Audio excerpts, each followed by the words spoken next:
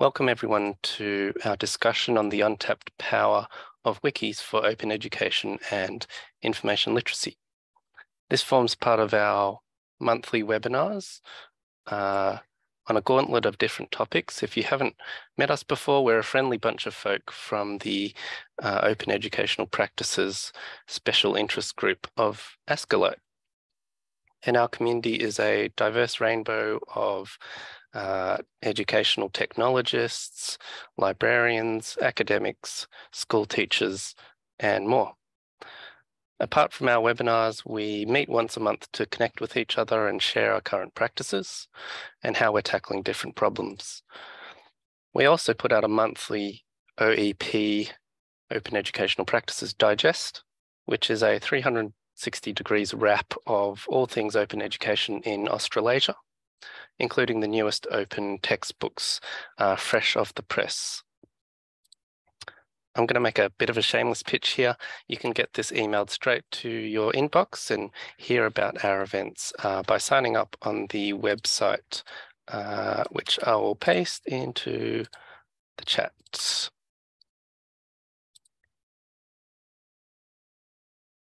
Here's a cheeky snapshot of our previous webinars for the year, and we encourage you to get on our YouTube channel and uh, check out all the topics we've covered over the last few months. Before we go any further, I want to recognise our webinar is being held on the lands of the Wurundjeri people and other um, traditional owners of the land across Australia, and we acknowledge them as traditional owners. I want to pay my respects to their elders past and present and uh, Aboriginal elders of any other communities who may be here today. And this is a lovely artwork of Bunjil, a created deity in Indigenous mythology, who often takes the form of a wedge-tailed eagle. And this was painted by Wurundjeri woman Judy Nicholson. So I'm pretty stoked to introduce our speakers today, a dynamic duo from both from University of Canberra First up, we've got James Neill. He's really passionate about open, ed, uh, open academia, which in his view means sharing knowledge openly. He works as an assistant professor in the discipline of psychology at University of Canberra, and he teaches an undergrad psych unit called Motivation and Emotion. Previously, he's taught personality, individual differences, social psychology, and research methods in psych. He's a custodian of English Wikiversity, and he's got research expertise in outdoor education, green exercise, and more broadly in positive psychology and environmental psychology. Uh, and he's also been an insightful member of this community um, for the last few months. So we're over the moon to have him speaking today on using Wikiversity for enabling psychology students as co-creators of OER. We've also got Mathieu O'Neil, the Professor of Communication, also University of Canberra, uh, the News and Media Research Centre there in the Faculty of Arts and Design. And he founded the Journal of Peer Production in 2011 and the Digital Commons Policy Council think tank in 2021. And his current research projects include analysing the political economy of researcher contributions on GitHub repositories, mapping the health or openness of online discursive environments, and developing new information literacy methods for school teaching. So with, oops, so with that, um, take it away, James, who's first up.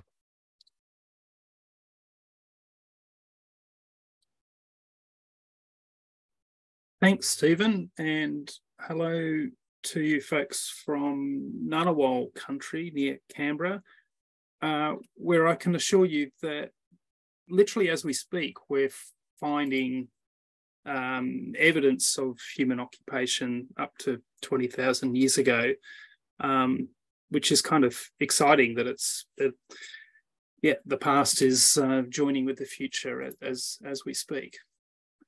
Uh, so I'm going to share with you today about what I see as the potential for using wikis in open education. And what I've got a few questions here to put to you um, that you might chat away. Um, as you probably noticed when I've um, been in other presentations, I find it uh, just as much fun to talk about what's happening rather than just listen. So um, I'm curious about what's your wiki expertise. I've already seen a few people in the chat comment that they're Wikipedians. You've got people on here with um, tens, if not hundreds of thousands of edits, and others who have perhaps only ever read but not edited um, a wiki. And if you do have some sort of wiki experiences, I'm curious to know about what platforms maybe you've used or edited, um, or how you might have used wikis in your curricula. And finally, as we go, if you've got any questions or comments or ideas, feel free to, to pop them in. Now, mostly um, what I'm going to do today is share links with you. So this is the outline of what I'll talk about, but the further we go, the more links I'll pop into the chat and I encourage you to click and explore and see, see where you go. I'm an old hack. Uh, I've tinkered with various tools, techniques, and platforms to try and serve open education over the last few decades. In so doing, it's become apparent to me that wikis offer some remarkably underutilized open education affordances. Wikis are free, uh, they're open, and they're easy to edit with full version control. Wikis offer a powerful conduit for staff and students to access and contribute to the Knowledge Commons. In some ways, it's the most native way of interacting with the knowledge commons. So I see wikis as offering an ideal platform for developing collaborative online authoring skills across all disciplines. Uh, there's a place, I think, for every discipline to make a contribution towards op open knowledge. So I hope to illustrate to you today some of the educational potentials of using wikis and I'll use an ongoing case study uh, in which undergraduate students have developed over 1,300 online open educational resource book chapters about um, motivation and emotion topics since 2010. And so this might be seen as an example of, a, of an authentic assessment exercise. As Stephen said, I, identify as an open academic. And by that, I mean that I value openness, freedom, and transparency in education, research, and university service. And there's two particular principles, I guess, that guide me in open educational design. The first one being uh, the idea of open by default, and that educational material should be as open as possible and really only as closed as necessary. And I think we all know that that default is becoming more of a default over time, but we've still got a long way to go, I think, in uh, that being the culture in um, public education. The second principle for me is that everything should be maximally reusable. So educational materials should be open to edit and the formats should allow for maximum reuse. So a simple example would be sharing an SVG image, a scalable vector graphic image, rather than a PNG, because an SVG is, is entirely editable pixel by pixel, um, whereas a PNG is a fixed file. So following these principles seems to have led me naturally to Wiki, much as following a watercourse might naturally lead to a waterhole. So there's several features of wikis that I think um, offer great affordance for open education. First of all, the content is openly editable. Uh, and this is probably the most notable feature that the software provides a robust system for managing open content in a in a stable way. So it is editable, but there are ways to manage, you know, bad edits or, or poor edits. And for me, this contrasts with a lot of open educational resources which are not publicly editable, like a lot of the um, open textbooks that are being produced. They're openly licensed, but uh, for example, to take a very trivial example, if I find a typographical error in an open textbook, uh, it's not easily fixable. Secondly, wikis are quick. In fact, the word wiki comes from the Hawaiian word wiki wiki, uh, which was the name of a bus system that allowed people to move quickly between places. And so that word was adopted by the people who made the first wikis because what they were looking for was the simplest uh, and quickest web page that can be edited by anyone. So in many ways, I, I see this as um, perhaps what should be the default internet technology rather than the passive internet um, in which we largely only consume rather than edit content. Uh, the editing process is easy to learn and it's empowering when people learn how to edit a wiki. Students can be taught basic wiki editing techniques for even a complex assignment within about an hour. And most students find that incredibly empowering to realize that they can shift from being a content consumer to becoming a Knowledge Commons contributor.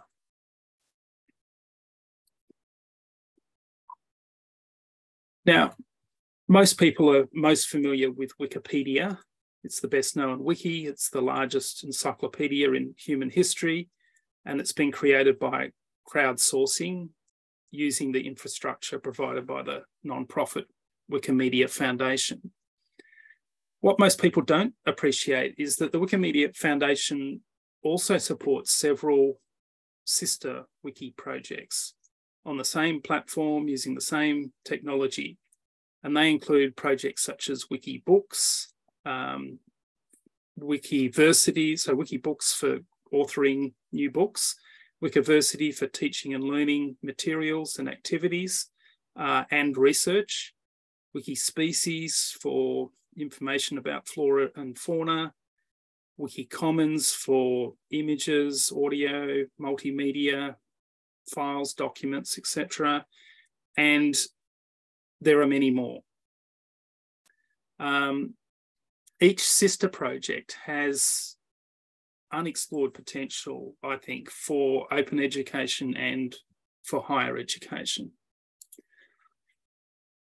All the Wikimedia Foundation sister project content is available under a Creative Commons share alike license, uh, allowing maximum reusability and ensuring that that open knowledge continues to be built upon uh, as open uh, material.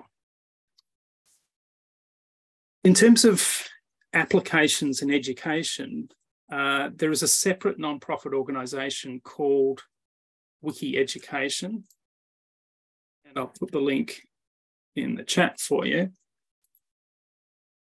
which has as its mission to engage students and academics to improve Wikipedia, uh, enrich student learning, and build a more informed public. So, Wiki Education supports teachers who wish to engage their students in editing Wikipedia, and it's a good option for an academic who is keen but really doesn't know where to start. Um, but they may have a vision of their students being able to improve content on Wikipedia and so they provide a kind of conduit and um, support to, to get ac academics engaged in edit uh, with their students in editing Wikipedia. However, Wikipedia can be a crowded and difficult place, especially for novice teachers and students. And it is only for encyclopedic information. So it has limited scope uh, for many educational applications. Uh, and I think it's important to provide an environment which helps teachers and students build their online editing confidence and gain momentum and, and traction with their efforts. And sometimes Wikipedia is not the place to do that because there's a lot of um, um, people breathing down other people's necks, shall we say, for you know not getting things quite right. So I encourage you to look outside Wikipedia and see whether one or more of the sister projects mightn't offer a, a better opportunity. And in many cases, the answer might be Wikiversity, because the reason the d'etre of Wikiversity is for teaching, learning, and research, the very things that we're engaged in in universities. Anyone can edit or create content on Wikiversity, um, teachers, students, the public. And to get familiar with Wikiversity, one of the fun things you can do, you can do this on Wikipedia too, is to try out the random link. So if you click on that link and refresh it several times, you'll start to get a feel for the kinds of things that you might find on Wikiversity. Might be curriculum, lesson plans, assignments, lectures, class activities, um, things like that. As you're refreshing that random link, you might eventually come to something like um, these conclusions. Uh, firstly, that there's a lot of material uh, there's about 30,000 open educational resources there on Wikiversity.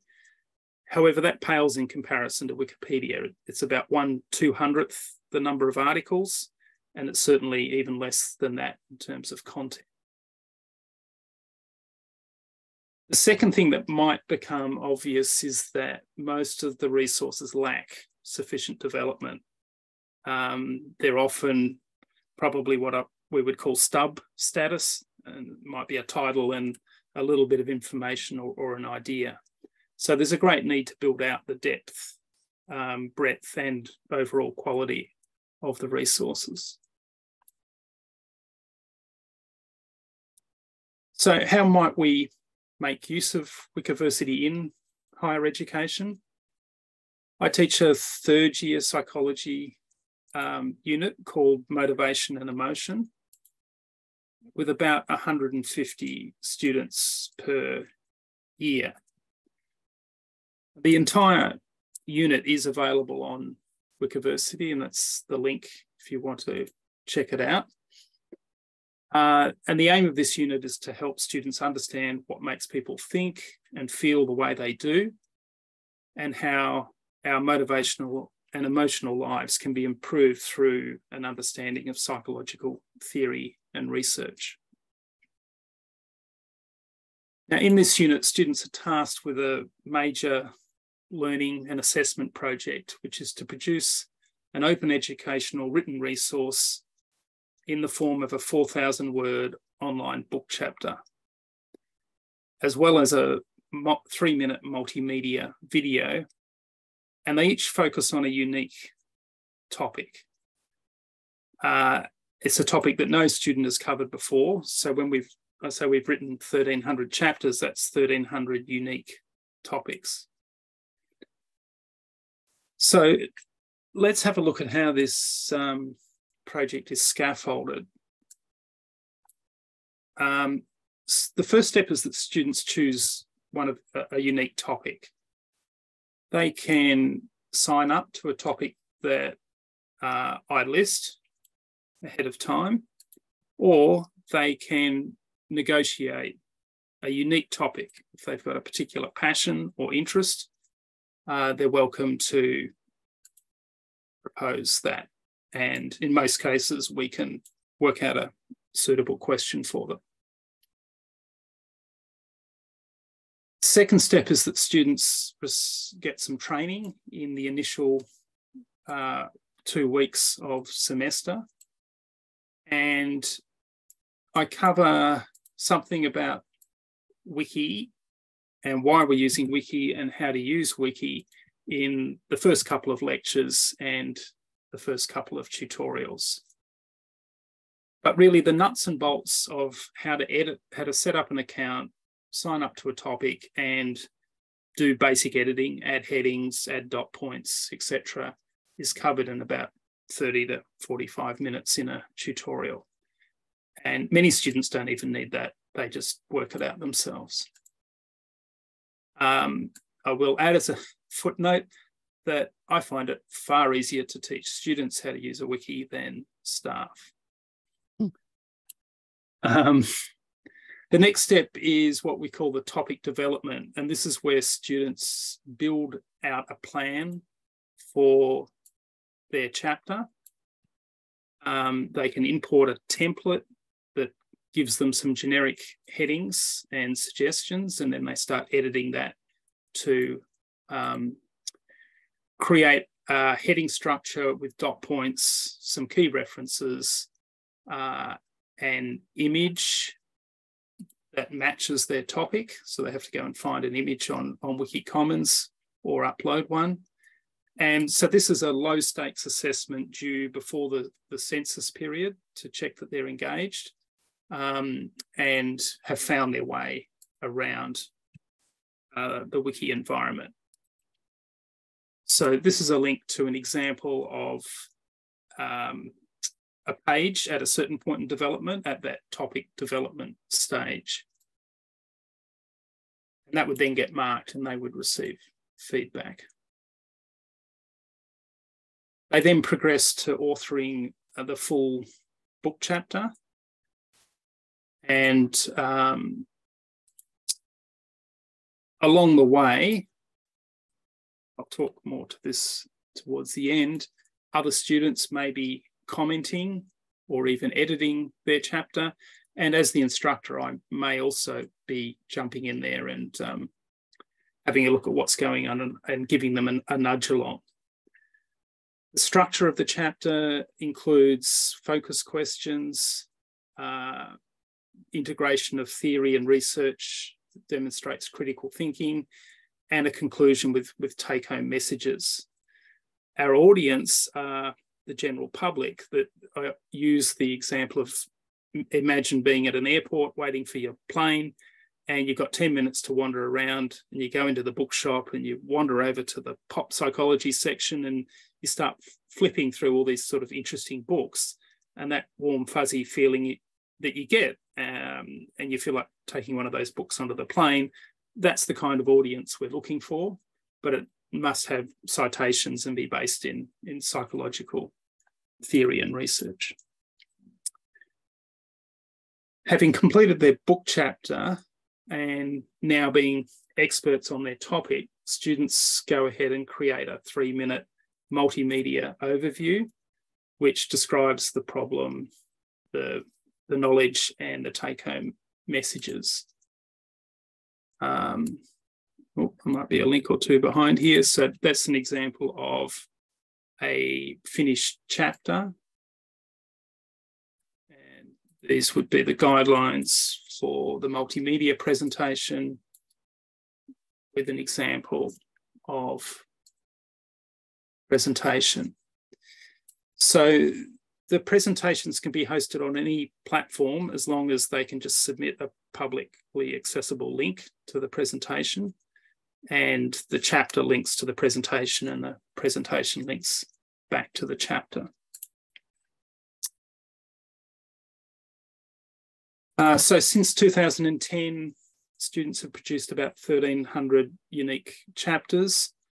Um, and there is a sort of a front uh, entry to those chapters here. And that allows you to navigate by year. There's tables of contents. Um, you can search and chapters are also listed in multiple categories, which is one of the nice sort of hierarchical structured features of wiki is that you can group and organize content quite dynamically and, and flexibly. Now, for the sake of simplicity, I've emphasized uh, this as an individual exercise, but collaboration is strongly encouraged and incentivized. Uh, about 10% of the marking criteria for the topic development and the book chapter is dedicated to their social contributions. And that is basically editing outside of their own book chapter, giving other people feedback, uh, contributing to discussion forums, or posting, you know, new images to Wiki Commons or using the unit's hashtag. Basically, anything they do in the public online space uh, can count. Uh, so I think that's the hashtag from, from last year. So some of you might be sitting there thinking what students often think when they first hear about this, and that is that um, how can this work? And I often liken it to riding a bike, that when you look at a bike, you think that's impossible, it's going to fall over. It's only got two wheels. So when students hear that they're going to be working in the public where other people can see what they're doing and change what they're doing, um, there's an initial skepticism. But once they jump in and make some edits and actually get the benefit of me editing and contributing and others contributing, uh, that usually turns around. And I've only ever had one student who had a visual disability who said that they preferred not to do this and they ended up, we negotiated that they would just um, do a Word document. Unhe unhelpful edits are remarkably rare, almost always unintentional and easily reversible through version control. Um, so there are simpler projects that you could do. This is a more advanced or complex um, project. And this is an example of a fairly simple exercise that was done on Wikibooks by a, a colleague. And students just did, you know, fairly short article critiques um, as part of their assessment. So in conclusion, I think that wikis are very well aligned with open educational values such as accessibility, transparent, uh, transparency, and editability.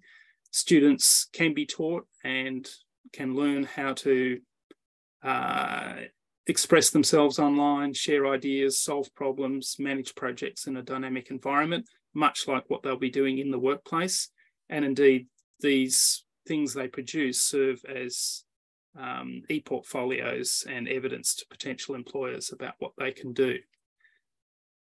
It's the instructor's job to model that openness and problem solving and um, develop enough skills to provide support, but there is a broad community of support out there. Um, I was mentored online, you know, by other um, wiki people and am very happy to uh, return that favour to others. So I, I encourage you to take a look at how wikis might be able to turbocharge your curriculum. Thank you.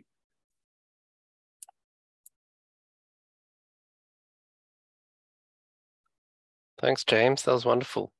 Uh, we'll pass straight on to uh, Mathieu now.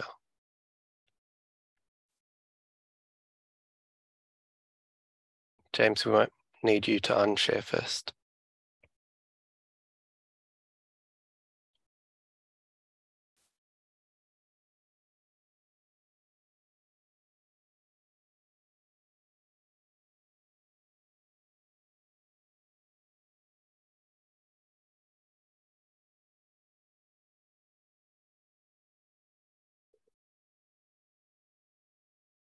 Hi, everyone. It's great to be able to, uh, to have this opportunity to speak to you.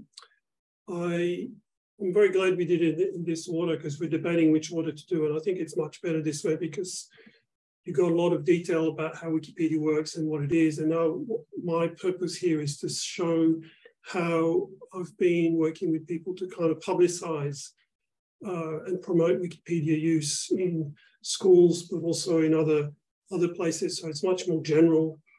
and I've got a lot of slides. So it's sort of very, very complimentary presentations. I'm just going to fly through and I've asked um, Stephen if you could post a few links along the way because I'm just going to go really quick. Um, I also want to say that I noted there's a couple of people from Wikimedia Australia here, Prue and James, and um, they asked me to present tomorrow night on updating them on what we're doing for the weekly or monthly meetings. So I probably will be presenting something quite similar. So I guess Prue and I will have to have a bit of a, a think about how to, how to address that, but um, that's life.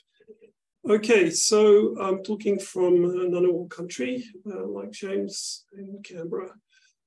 Um, I just want to briefly explain what I'm going to talk about. So uh, just give some, some brief definitions. Uh, media literacy asks questions such as what are lifestyle, what lifestyles, values, and points of view are represented in or omitted from a message. So it's very much about power, about who's in the frame. Um, so it's about how media represents the world. I'm not going to talk about media literacy today. What I'm talking about is information literacy, which I suppose everybody here is very familiar with, is just about correctness of information. Is it is a statement true or false? I'll, I'll be clear why I don't want to address media literacy for the moment. Um, just starting with there's two considerations that orient our work. The first is that um, we live in what's known as an attention economy. Um, we're constantly solicited by, uh, you know, prompts, claims, and so we have to be aware that that's the information environment that we're in. You know, there's uh, was Herbert Simon, who's an economist, made his famous statement in the early 70s when it was just broadcast media. Now with social media, everybody can create, curate information. So there's so many claims, we don't know um, which are correct or not. So how do we deal with uh, a philosopher called Kim Sterelny called in the early 2000s epistemic pollution? How do we verify? How do we trust? Just a couple examples from a disinformation campaign that was run between 2015 and 2020 um, by the uh, Russian uh, IRA. Uh, so fake documents, one fake video from Greenpeace and one fake letter from the Committee uh, to uh, Protect Journalism. I think that's the acronym. Uh, which was spread and you know they, they look completely authentic so how can we know even if authentic looking information is correct you know there's a lot of pollution happening. The other issue, apart from the fact that there's an overabundance of information, and so we have to be parsimonious with our attention, that there's a crisis of trust happening. Um, so a lot of you know a lot of this came out of the election of Donald Trump in 2016 and Brexit. And there's a lot of hype around these terms. So these people from the RAND Corporation, which is a kind of um, you know American think tank, very establishment, they compared the present period with earlier periods, and they found that, you know, some of these traits have existed in the past, you know, blurring of the line between opinion and fact. But what's new today is that there's incredibly strong decline of trust um, in uh, what people used to, you know, think was uh, factual sources of information. And this decline of trust in institutions is, is something that is very apparent in Australia uh, the ANU runs has run an Australian election study, um, and they found, you know, 70% people believe government, people in government look after themselves. Um, only 12% believe government is for all the people. So it's pretty, pretty stark. Uh, and in terms of the news media, um, the, the News and Media Research Centre at UC runs the digital news report, uh, the Australian part of the digital news report, and you can see how decline uh, in the, the, what the news uh, tells you, uh, in the trust of, what the news tells you has been constant um, from between 2016 and, and 2022. Um, uh, you can see the figure for the United States is the lowest uh, in the survey. This, I think they survey something like 40 countries every year about people's attitude about news. So there's a decline in trust. So what, what is what do we use in Australia? Um, some educators, you're probably familiar with this acronym, uh, CRAP. So when you confront a claim or a website, you know, you, you ask yourself some questions like, you know, is it current? Is it relevant? Um, is it authoritative? Is it accurate? What is its purpose? So you look at the about page, for example. you'd look at, you know, whether whether it's been updated. You know, you'd look at the design, uh, whether there's footnotes, whether there's, you know, is it a .org or a .com? Because .org is better than .com because .com means they're commercial, right? Or are there ads? Because if there's ads, maybe it means they're also commercial, so that's no good. Those sorts of, you know, checklists. The problem with that approach is that it results in cognitive overload. There's too many things to think about. Um, and so you people tend to latch onto the most obvious thing, like, you know, it's a .org, must be good. Uh, also, visual and design cues are not that effective. Um, anybody can make a really good looking page. And basically this wastes time. It takes a lot of time to figure things out. Often when there's an intent to misinform, or sorry, to disinform, you, the people who do it, they mix the true and the fake, you know, so it could take you hours to figure out what's real and what's not real. So that's not good. Um, when there's overabundance of information, people should avoid wasting their attention, so fact checking should be fast. And when trust in institutions is compromised, people uh, need reasons to trust information, so fact checking needs to be inclusive, right? Okay, so very briefly, um, I wanted to bring your attention, if, if you haven't heard about this uh, article by a, sort of like a super group, you know, like you had super groups in the 70s or the, you know, we did all these different musicians, and this is like a super group of academics with, uh, um, well, Sam Wineburg is from Stanford and he's come up with the lateral reading uh, framework, and Stephan Lewandowsky is uh, famous for the debunking handbook, and the other two people have also got their own theoretical contributions. So they, they come up with this idea that today it's not about critical thinking, it's about critical ignoring. You need, you need to know what not to look at, when not to engage, when not to when not to go deep. And so I'm focusing on the second one of the critical ignoring ideas, which is lateral reading. Um, the third one, don't feed the trolls, is pretty self-evident. You know, if somebody's being disruptive, they want your attention, just don't engage you know, report them, whatever, but don't waste your time. Self-nudging is a bit more complicated. I'll very briefly talk about it. The one that's most relevant to fact checking is lateral reading. So what is lateral reading? It's a way, what, what fact checkers do. Um, I don't have time to show you this video, but uh, hopefully we can have the, the link in the, uh, in the chat. So it's a, it's a video based on a, an experiment they ran at Stanford uh, where they asked different groups of people. They get they say, okay, you have five minutes to check claims made by these two organizations. One of them is the American College of Pediatricians, and the other one is the um, American Academy of Pediatri Pediatrics, or something like that. So, you know, claims about bullying or about weight or something like that. And so, you know, if you look at the websites, they both look kind of similar. Uh, the only problem is that the first one, the, the, the one at the top is a respected organization of 70,000 health professionals, which is, you know, been around and very legitimate. The second one is just has a five or 600 people as the members, and they're basically a hate group, uh, very opposed to, uh, you know, gay rights, etc. So if, if you just look at what they say, you might not figure that out. And Unfortunately, of those three groups, both the, the PhD students and the professional historians got it wrong. They either thought that the uh, American College of Pediatricians was as legitimate or more legitimate than the other one. On the other hand, the pro professional fact checkers, in one less than a minute, they figured out what was going on and they knew what was what and which one was credible. How did they do it? Well, they used lateral reading which is that you don't engage vertically. You don't go deep with a claim, you look away, you look at what the information environment tells you, you open another tab on your browser and you search.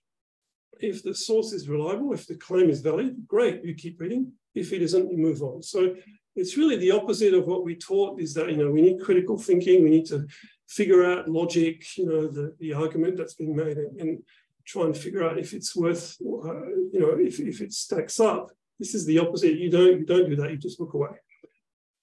Um, so this is how they summarize those three uh, ideas. So the nudges is the first uh, one. It's about, you know, changing the way you interact with your information environment. Have to have better self-control. So for example, you know, people who have problems with attention, you tell them, um, you know, spend 20 minutes working and then reward yourself by looking at something fun for 10 minutes. And this is saying, well, actually, if you do that, you're going to go, uh, you know, you're going to then spend half an hour or 40 minutes looking at something fun. So it's about controlling how you interact with your information environment. Second one is lateral reading. I've just explained. The third one is trolls and malicious actors, which is the don't engage, basically. So self-nudging. Um, so the second paragraph says, a link, you, you have to be aware of the link between your environment, your behavior, and the architecture of the environment blah, blah, blah. Anyway, I don't have enough time, so we can talk about it later if you want, but it's, it's interesting stuff anyway. Okay, so check where. Well, I just want to uh, bring to your attention a submission to a, a, Senate committee that I made with some colleagues. Uh, there was two parts. The first one is about information literacy, and the second one was about uh, information health, which was based on network analysis of information environments, where we try and map how open, diverse, uh, discursive environments on Twitter or Reddit are. I'm not going to talk about that today, but what I want to talk about is the three principles which orient um, these ideas. So speed, I've already talked about, non-partisanship, you want to be as inclusive as possible, particularly when you're dealing with school kids. So that's why we don't focus on media literacy so much. Um, and the third one is transparency, because the opposite of conspiracy, of distrust is transparency.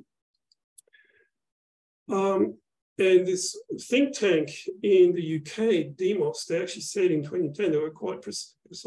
Conspiracy theories are a reaction to the lack of transparency and openness in many of our institutions.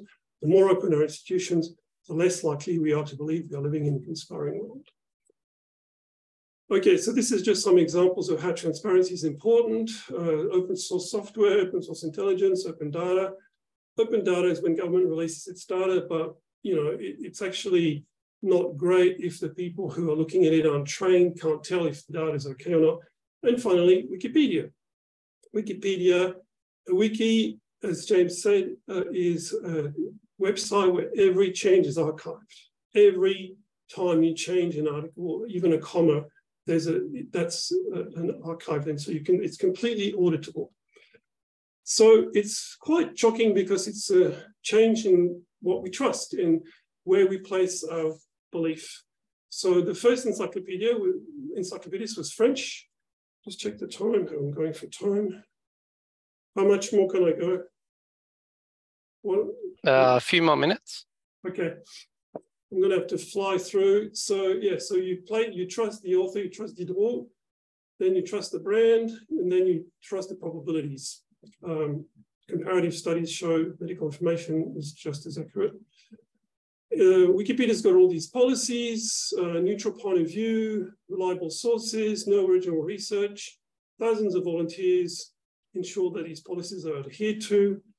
Um, if a page doesn't have many editors, it might be less reliable, but you can also always check the history and talk pages. So here's an example of the revision, what it looks like. You have an article you, you go on history, every time there's a change, there's a line, and then if you click on that line, you'll see the difference between the two versions.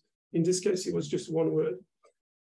So there are some problems. Um, I don't think I'm going to have time. So sometimes there is manipulation of content. Sometimes there are systemic imbalances. I'm just going to skip that one. Um, there are a lot more biographies of women, of men than women on Wikipedia. So um, 19 point, you know, there's basically 20% of biographies of women. But even when there's women represented, they are represented differently. A 2015 study found that the word divorced appears four times as often in women's biographies on the Wikipedia and does in comparables men biographies. So completely specious, but you know, it, it sort of emphasizes how the, the patriarchal nature of society. Wikipedia reflects the world, right? So what we did was we took these ideas and we used them to make some lessons for kids uh, in the um, four uh, ACT schools. And so we sort of structured this from the least complex, you know, foundational knowledge, what's in, you know, what is a fact, what is Wikipedia, then lateral reading. Uh, when you find a, a, sandwich on the street, would you read it? And then ad hominems, you know, emotional responses, and then red cars. If you see an information, something all, all over, like, you know, if you if you get new shoes, you'll notice those shoes. If your parents get a red car, you'll see red cars, something. If you see something all over, doesn't mean it's true. The last one is about finding evidence. We did that. We've compiled these lessons as a book, a booklet, um, and it's available for free download, if you like, from the APO. Um, so yeah, difference between being critically literate, digitally, digitally literate, you know, it's a big change for a lot of education policy. Um, yeah, and then I had some stuff about reactions from different groups of people, but I won't, I'm not gonna have time. So when we presented this, these ideas to uh, commenters on the conversation, you know, some people were extremely negative, but they were in the minority. Uh, so there's still a lot of negative views about Wikipedia. Um, then we also had some really good responses when we did a workshop from teacher librarians who said they wanted to promote this and be advocates.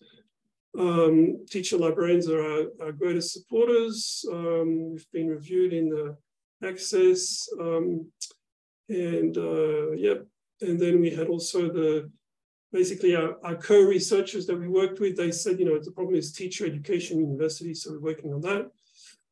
Uh, kids, they um, they changed the fact checking, but they still distrust Wikipedia, so that's very ingrained. And finally, um, we are trying to finish a report about strategies for the recognition and use of Wikipedia in Australian educational settings. There's been some discussion about doing some micro-credentials, but it's a bit of a complicated terrain. And so the, what we're doing now is we are uh, put an application in to focus on teacher librarians in uh, ACT, New South Wales and Victoria. So we'll be reaching out to people. I also want to do this in Indonesia, and also we're going to redo it in Canberra with the ACT Education Directorate, uh, with high schools. And it's part of the Digital Commons Policy Council uh, effort to kind of recognize digital commons and the volunteer labor that produces them. So thanks very much. Uh, and those are the things we're working on now with the digital commons. Thanks.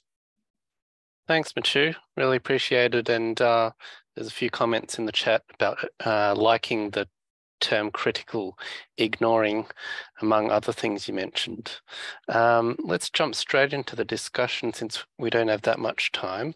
Um, I think, you know, an interesting intersection has been the uh, use of wikis in your teaching, James, and the rise of ChatGPT at the same time and the debates around academic integrity. Do you want to answer Jackie's, uh, Jackie W's question about whether you think the use of wikis in your teaching has reduced any cases or frequency around academic integrity?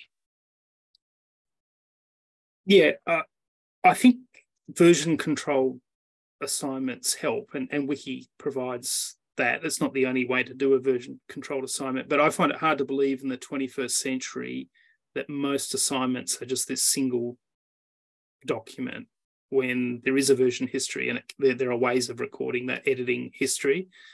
Um, so from that point of view, it helps. It doesn't prevent it. Uh, I'm going to be giving this a go, allowing students to use AI in semester two. And but because they provide an edit summary with every edit they do, they're gonna I'm gonna give them a format. They'll have to say what their prompt was, what their platform was, etc. Um, so yeah, that's a way I'm going to experiment, I guess, with navigating the AI issue using that version controlled approach. Great, thanks, James.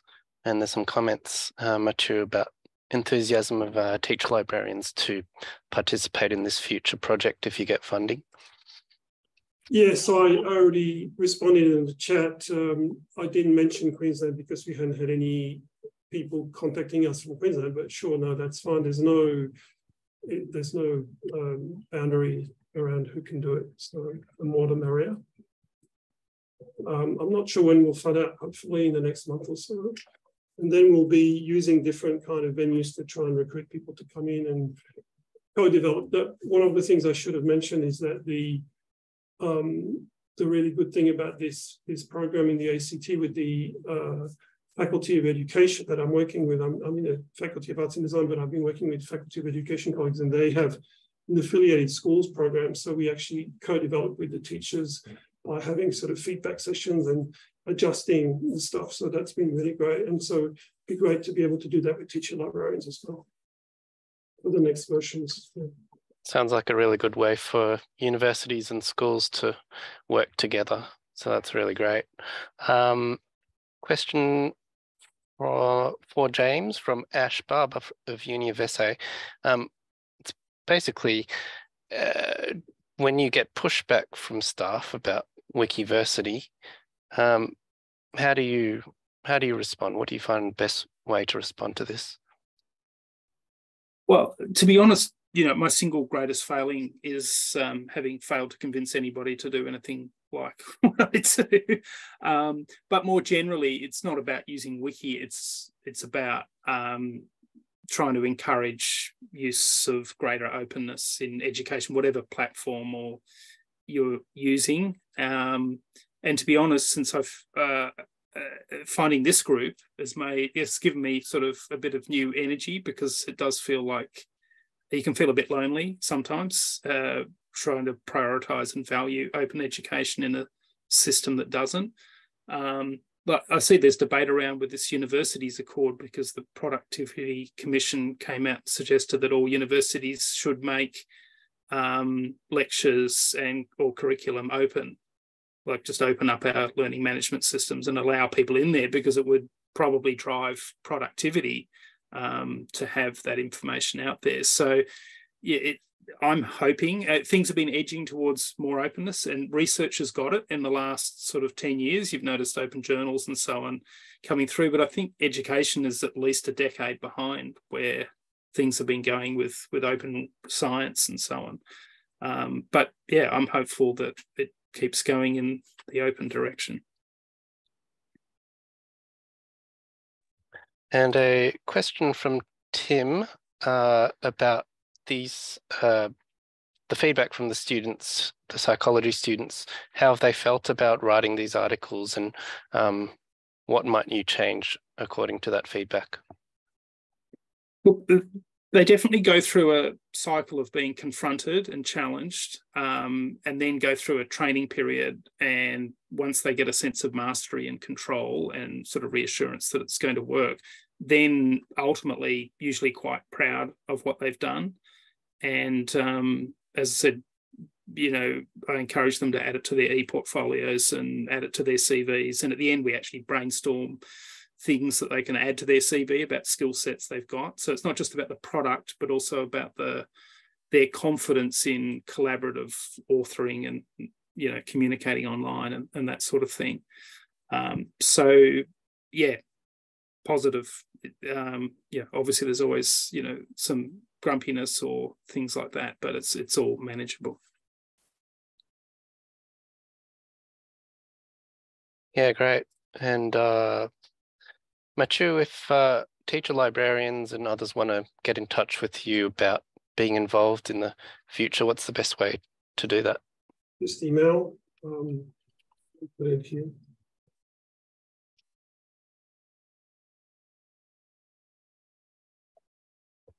And perhaps last thing for James, uh, there was a question I think about, I'm trying to find it, about uh, the use of interactive learning activities in Wikiversity pages and perhaps the challenge in getting students to write those questions, um, that it's not, not an easy thing. Did you want to expand on any of that?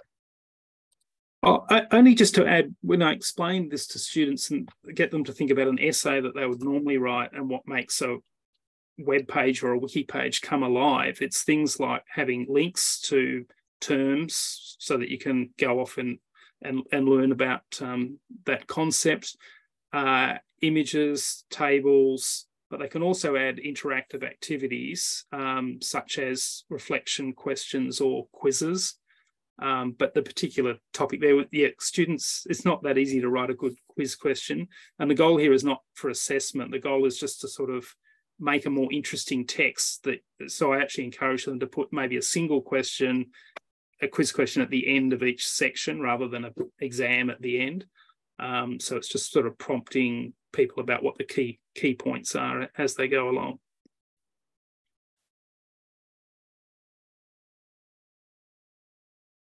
Oops, sorry. Uh, we have reached one o'clock, so thank you so much to James and Mathieu and everyone for coming along. I know there was a lot of discussion, so we will share the chat and the links and the slides. Uh, last thing I wanted to mention is that uh, the next webinar is on uh, why educators do or do not adopt OER in their learning and teaching, and some fresh new evidence from a uh, PhD student who did his thesis on this. So come along next uh, next month, and I'll put the link to that webinar for the registration for that in the chat, so you can register and come along next month. So thank you, everyone, and see you next time. Thanks. Bye.